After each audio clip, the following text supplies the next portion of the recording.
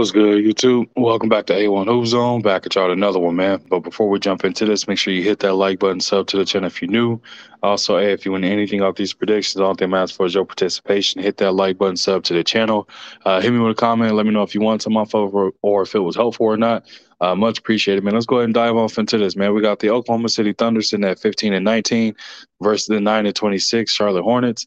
Um, right off the bat, for injury perspective of this, we all know uh, Chet Holmgren was out for the season, so uh, I'm not going to kind of uh, mention him anymore as far as for that perspective of it. Um, let's see, Jeremiah Robinson Earl is out with an ankle injury, and um, Ousmane uh, Dieng is also out.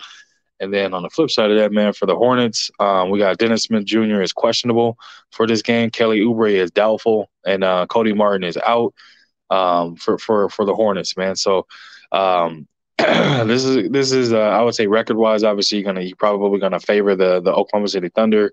Uh, 15 obviously beats nine any day, but at the same time, man, uh, it's a matter of the product you're putting out there on the floor. This this uh, Oklahoma City Thunder team, they're tough extremely tough. They play every team tough. You know, they're not one of those teams to go in there and get blown out like that.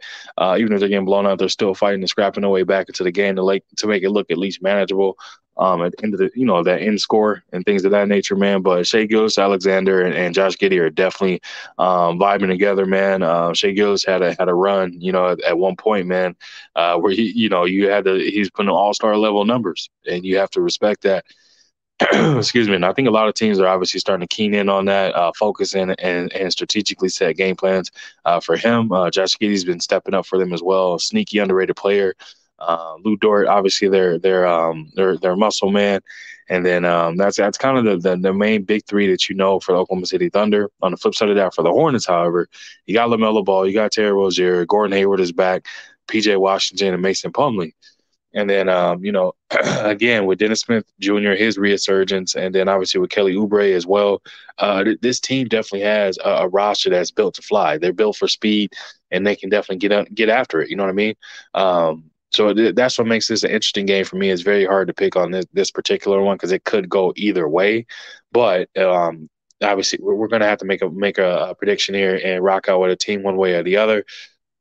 with that said, man, I'm gonna rock out the Charlotte Hornets on this one.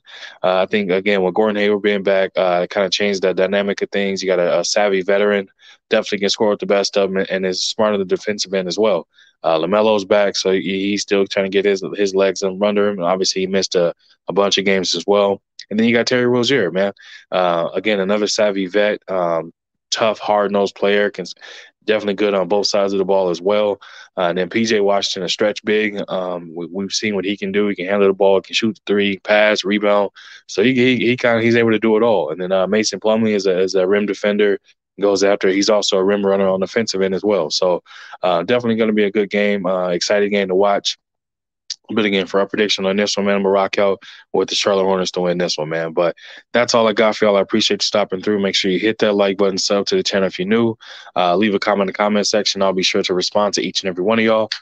And if you wish to support the channel, that information is floating in the scrolling in the bottom of the screen. It's also in the description of the video, man. Again, I appreciate you stopping through, and I'll catch you on another one.